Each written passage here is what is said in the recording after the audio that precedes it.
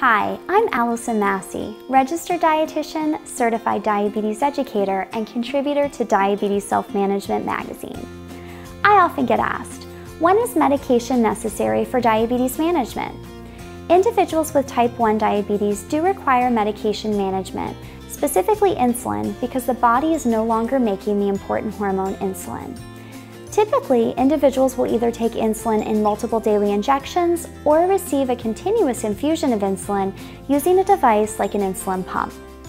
In the case of type 2 diabetes, healthcare providers use a person's health information, including hemoglobin A1C levels and blood glucose trends, as well as standard of care guidelines to determine a plan of care regarding whether or not medication should be started to help keep blood glucose levels in a healthy range.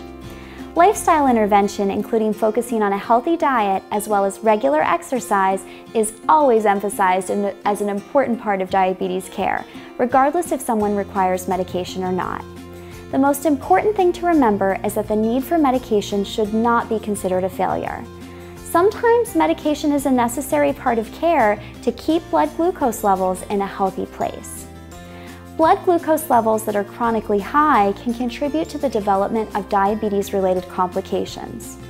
There are various medication options for individuals with type 2 diabetes, including oral medications, injectable medications that are not insulin, as well as insulin.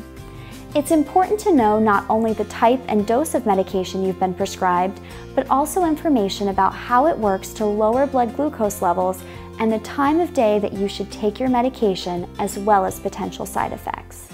Your healthcare provider or a certified diabetes educator can answer questions about your personal medication regimen. To learn more about medication as a part of diabetes management, check out the resources on diabetesselfmanagement.com and subscribe to Diabetes Self Management magazine.